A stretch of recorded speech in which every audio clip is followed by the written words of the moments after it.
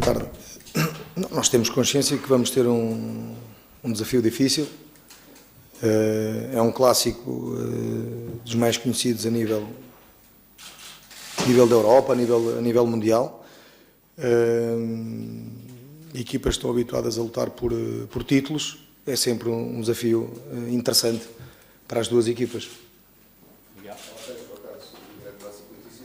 Há vantagem do futebol do neste clássico, uma vez que há terceira jornada, o Benfica ainda não conhece também a forma de jogar uh, este atual uh, futebol Eu não vejo as coisas por aí. Eu acho que com a informação que, que existe hoje e a análise que é feita uh, pelos, pelos departamentos de análise e observação de adversários, pelo conhecimento das equipas técnicas que têm hoje na, na forma detalhada como conseguem dissecar os adversários. Eu acho que não há grandes segredos, não há grande vantagem nesse, nesse, nesse sentido.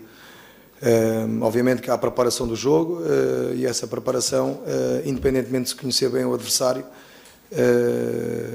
o foco está, no meu caso, na equipa do Futebol Clube Porto e, e, preparar da melhor forma, vendo e olhando para aquilo que é um, que é um coletivo forte, talvez dos melhores, dos melhores planteios do, do Benfica dos últimos anos, e nós temos de ser a equipa que consiga ganhar esse plantel forte dos últimos anos, que foi o caso do Futebol Clube Porto.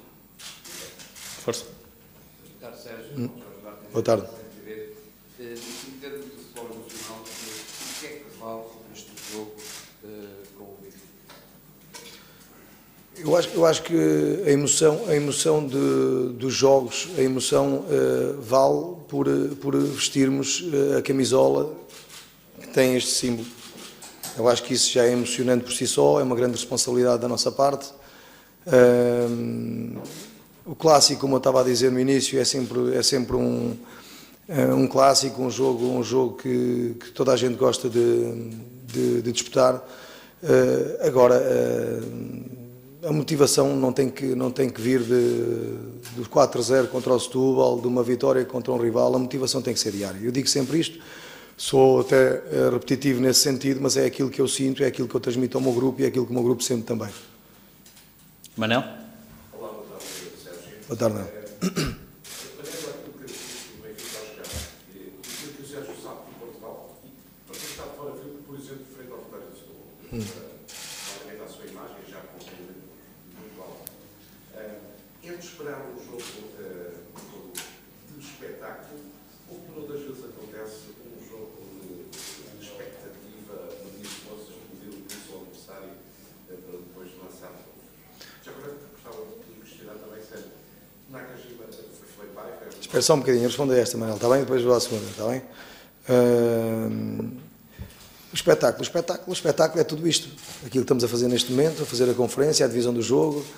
Uh, o Bruno Lage com certeza vai ter a sua antevisão e vai deixar cair, como se me dizer, uma situação ou outra. O espetáculo é, é, tudo isto que envolve um jogo, um jogo de futebol.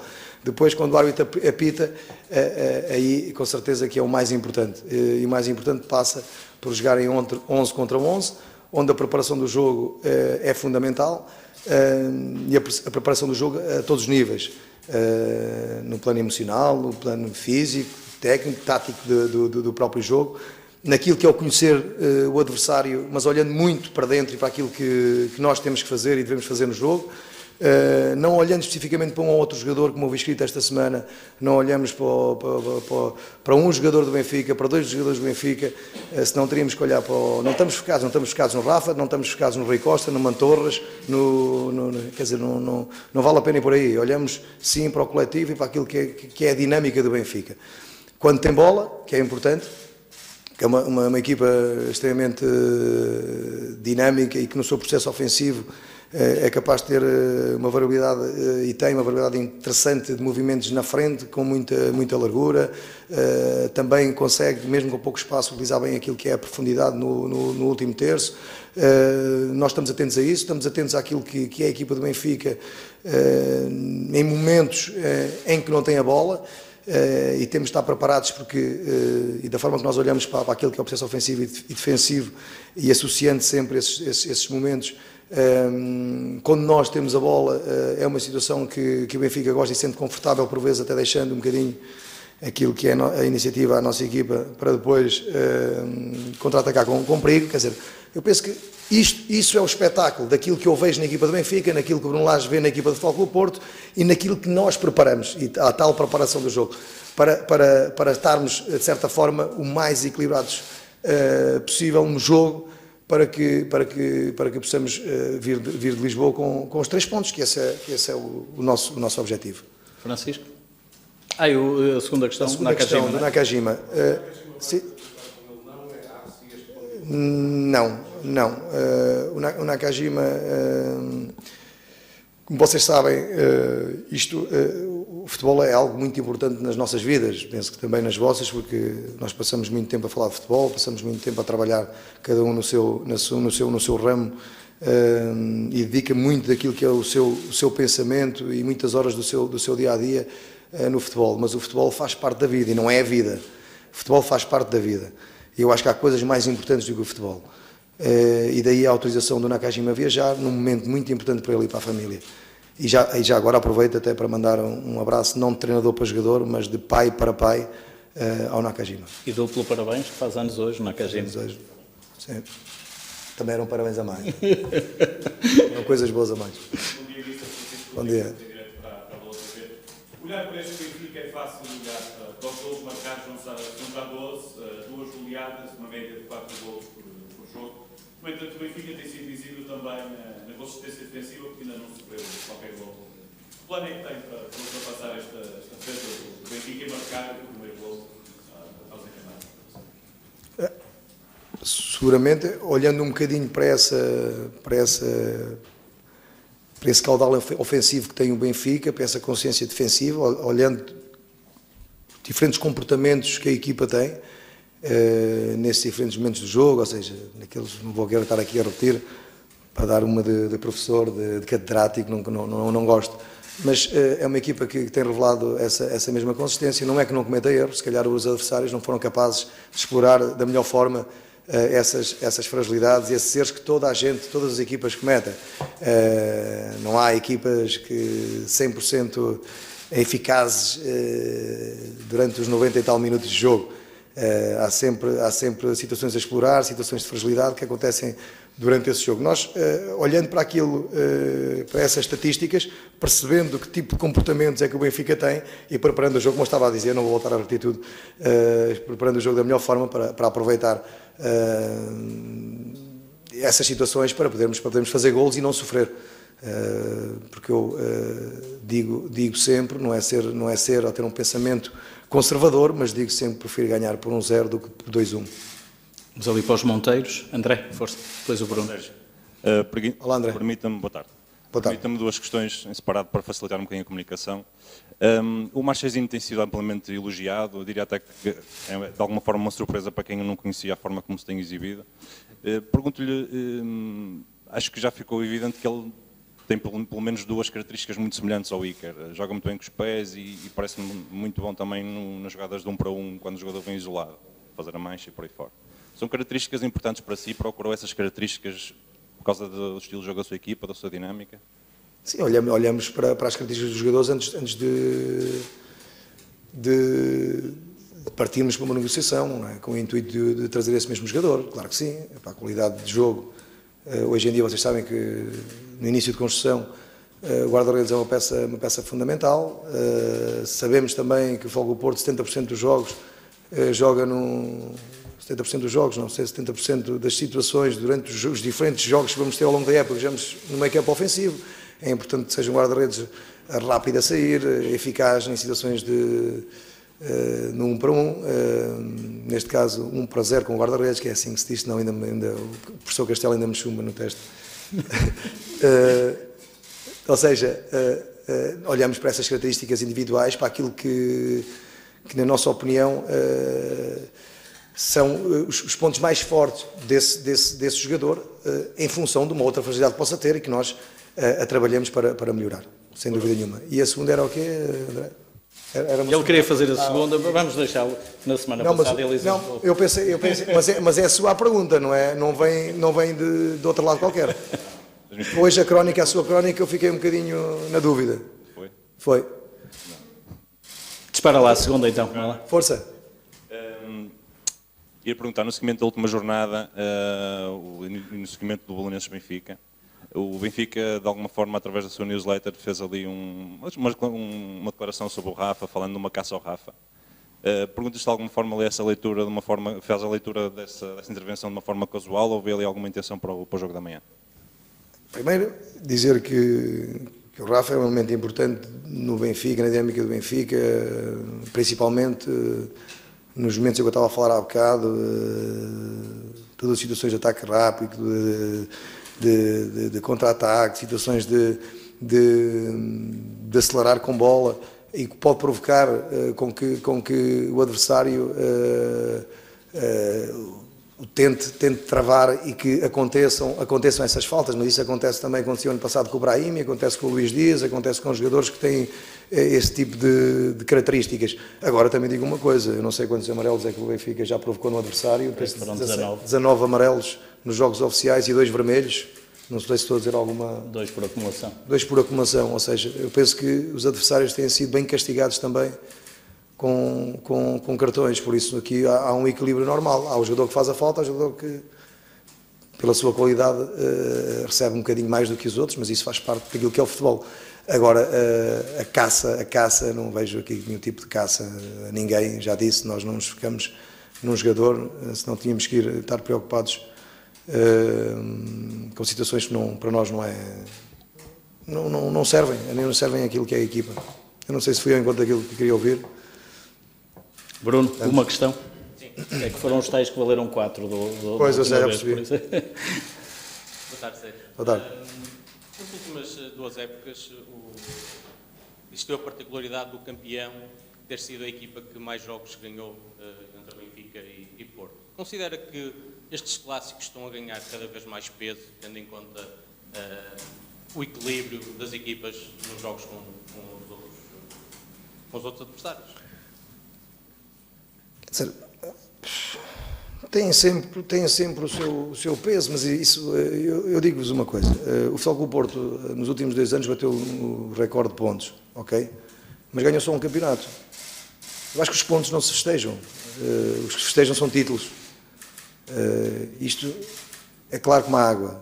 Aqui não há, não há hipótese. Agora, sei que normalmente os jogos, os clássicos têm, os clássicos, os jogos grandes, eh, têm um peso importante desde que depois os outros jogos eh, as equipas o consigam ganhar. Estamos a falar de normalmente os, os, os, os, os eternos candidatos ao título, neste caso eh, metendo também o Braga nesse lote, espero que o Sapito não fique chateado comigo, ficou a bela há dois anos. Mas isto para dizer que esses, esses, esses, esses jogos ganham peso, entretanto, depois os outros jogos conseguirmos também ganhar pontos, ou seja, ganhar, ganhar, eh, ter vitórias. Eh, Eu acho, eu acho que é por aí. O campeonato tem 102, não é? 102 pontos. 102 pontos. jornadas, vezes 34 quatro, não é? Nós estamos na, na terceira.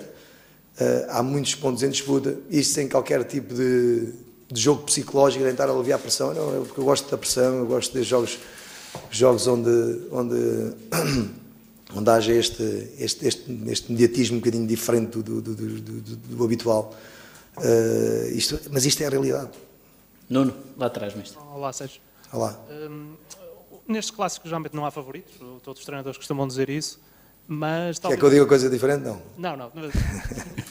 Hum, talvez nunca como este ano hum, haja no ar a ideia de que o Benfica está num melhor momento do que o Futebol Clube Porto, pelos últimos resultados, deste início da época, e que será, também por jogar em casa, mais favorito. Acha que o Futebol Clube Porto pode jogar com isso? Uh, isso não, não concorda com essa ideia ou, ou concorda? Acha que o Benfica está de facto num momento mais uh, forte do que o Futebol Clube Porto para este clássico? Eu não, sinceramente não, não, vejo, não vejo as coisas por aí. Nós, eh, nós preparamos a, a equipa de uma forma totalmente confiante dentro daquilo que eu, que eu estava, que eu estava do, do enquadramento, ou enquadrando naquilo entroncando naquilo que foi a minha resposta à preparação do jogo. Nós estamos completamente focados, eh, muito motivados eh, para, para preparar o jogo da melhor forma para ganhar o jogo. Eh, depois de tudo isso, tudo aquilo que, que se possa passar toda, essa, toda, toda essa envolvência que tem a ver com as estatísticas, com um momento melhor ou menos bom de uma equipa ou de outra, quer dizer, isso fica tudo em banho-maria a partir do momento em que o árbitro apita. E aquilo que foi preparado e a forma como nós encaramos o jogo. E eu acho que é por aí. Não vejo as coisas de outra forma, sinceramente. Eh, Agora, eh, atenção, até pode ser estranho, porque eu esta semana vi um ex-colega meu que me dava muitíssimo bem, dava e dou, atenção, não é por isso, o, o Lubinko Drulovic, a falar e a criar esta, e deixar no ar esta, que saiu em todo lado, não é? Esta entrevista do Drulovic. Foi a Renascença, mas depois saiu. Saiu em todo lado, deram, deram muita importância a essas palavras do Drulovic, que, que se eu perdesse, os adeptos pediam a minha cabeça. E eu, eh, aquilo que eu tenho para dizer sobre isso, e já que ninguém me perguntou, então, para acabar a conferência. Tem mais duas, era a última. Ah, ok. Eh, então pronto, deixa acabar. Ou, ou continua a resposta. Não, é que. É, é, ou minha, eh, não, aquilo que eu queria referir é que o, o Drolovic é um, é um amigo. E, e, e disse ah, que se, se, o Sérgio perdesse, podiam, podiam de certa forma, os adeptos pedir a cabeça. E eu digo que, que, podem levar, porque eu dou tanto ao Futebol Clube Porto, dou tudo ao Futebol Clube Porto, que se for a cabeça também não, não há problema orçamento nenhum. Vai a cabeça também, sem problema orçamento nenhum. Uh, por isso, uh, não querendo uh, dar um ar de que isto não se passa nada, que não vamos ter um jogo emocionante, que vamos fugir de um clássico, não é nada disso. Mas há coisas que temos que relativizar e ter a ponderar da melhor forma e ter alguma calma, porque senão uh, daqui a nada estamos a dizer que estamos todos com a corda na garganta e que na vida afinal, não, afinal é isto, é um jogo de futebol e não é bem assim. Duas questões para fechar, Helder e Frederico, aqui à frente, Mister. Sérgio, boa tarde, em direto para a RTP3. Tem muita gente nova na, na equipa Sim. Em, função, em função das alterações de um ano para o outro. Uh, muitos jogadores que nunca estiveram em clássicos desta importância. Isso é uma preocupação para si ou, por outro lado, leva aqueles jogadores que não conhecem bem a realidade e a importância destes jogos? Nunca os viveram, possam até entrar mais descontraídos? Eu acho que todos os jogadores têm noção daquilo que são os jogos, daquilo que, que são estes clássicos aqui em Portugal. Os jogadores que fomos buscar também são jogadores que estão habituados a jogar eh, nos clubes onde estavam por títulos e também nas suas seleções. Não há aqui ninguém ingênuo na forma de, ver o jogo ou de olhar para aquilo, para o obstáculo que tem na frente. agora, eh, é verdade que eh, uma série de jogadores novos, uh, com o tempo e com o trabalho, obviamente que, que as coisas vão, vão melhorando e se vai afinando um ou outro pormenor que para nós é importante, sem dúvida nenhuma. Boa tarde, Sérgio Boa tarde. Exposição, em direto para a TV24, o colega aqui da RTP acabou por fazer a pergunta que eu tinha em mente. Ui, Vou e agora? formular aqui, andar aqui outra pergunta. Claramente o Porto... Só para marcar o ponto mesmo. É só para marcar o ponto. Exatamente, tem que ser. uh, uh, o Porto fez claramente o melhor jogo da temporada frente ao Vitória de Setúbal, depois de, nos jogos anteriores, uh, ter mudado o Sérgio, a equipa, várias vezes. Hum. A pergunta que eu lhe faço é que, se frente ao Benfica, vai manter mais ou menos o mesmo esquema tático que apresentou frente ao Setúbal, incluindo, por exemplo, o Corona como, como defesa direita? Bem, isso era entrar um bocadinho dentro daquilo que é a estratégia para o jogo, mas eu compreendo perfeitamente a pergunta. Um, o esquema tático, normalmente, uh, o chamado o, sistema, o sistema, a estrutura da equipa uh, foi sempre a mesma, uh, tirando um jogo, um jogo, onde quisemos dar algo diferente a esse jogo, que por acaso não correu bem. por isso, aquilo, aquilo, que, aquilo que é a base a estrutura inicial dentro daquilo que nós trabalhamos depois a dinâmica, que seja o sistema de jogo, é, é o mesmo. Agora, nós podemos é provocar situações diferentes dentro desse 4-4-2. Eu posso ter um 4-4-2 onde não tenha dois avançados declaradamente na frente. Eh, posso ter uns alas que podem explorar mais a largura e a profundidade eh, por fora ou seja, por fora, profundidade por fora, dentro para fora, por exemplo, ou de fora para dentro, depende daquilo que eu quero do jogo e das variantes que eu quero para o jogo, o que é que eu hei de explorar no adversário, o que é que eu vou trabalhar em termos ofensivos uh, na equipa. Eu quero, se calhar, os meus laterais hoje muito mais atacantes do que o meu duplo pivô, eu quero um dos dois aparecer mais, hoje não, uh, depende daquilo que eu quiser para a equipa. E, e, do tal equilíbrio que nós queremos também, não é? Porque depois há, há o ter bola durante vários momentos no jogo, mas depois há também um momento em que se perde a bola e, toda a dinâmica e o processo defensivo que temos que ter e estar preparados para ele. Por isso depende muito daquilo que eu quero para o jogo, dentro, dentro uh, uh, ou dentro dessa base, ou, ou, ou sustentado por essa base que nós, eh, poucas vezes desde que eu assumi o Futebol do Porto, mudei, por isso as coisas têm sido iguais. Ok? Boa tarde, Tá? obrigado.